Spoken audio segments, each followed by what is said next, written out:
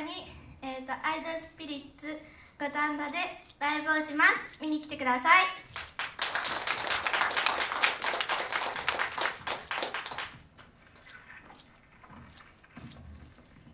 8月6日ここでアイドル劇場に出ます。ぜひ見に来てください。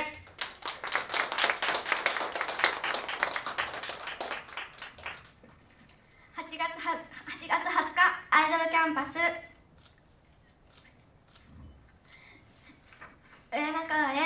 音楽堂でもライブをします。みんな来てください。7月9日に LINE ライブあるのでぜひ来てください。